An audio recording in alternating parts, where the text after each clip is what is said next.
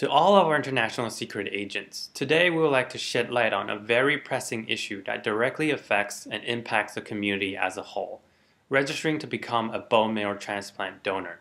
Every year, more than 10,000 patients in the U.S. are diagnosed with life threatening diseases such as leukemia, lymphoma, and their best or only hope for cure is a transplant from an unrelated adult donor. So patients will only find a donor from their family 25% of the time. 75% of the time, they actually have to find an unrelated donor. In 2011, less than half of all the patients in the US received the transplant they needed.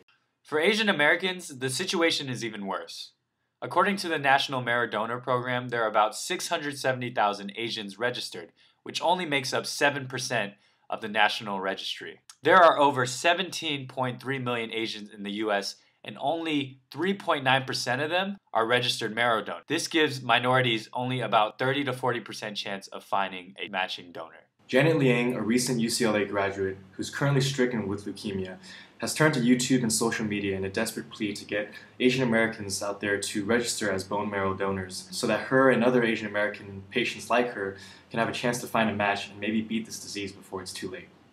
Janet has until April to find a match. Phil and I have been registered uh, since 2008, so we encourage you guys to do the same.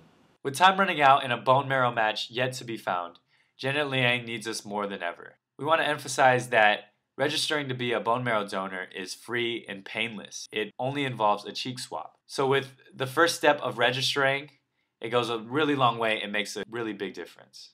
So join us in helping patients like Janet find the match so they can regain their lives and help change the world through their own stories of triumph. So we urge you strongly to consider becoming a bone marrow donor or even spread the word to your friends. Anything you can do would uh, increase the chances of someone like Janet to survive. Anything you can do to help is huge. We all play a major role in changing the lives of many in our very own community. Thank you. Please check the info box below for more information and links about bone marrow transplants, how to register to be a donor, and how you can help join Janet's cause. Thanks everyone for listening. Let's help save some lives.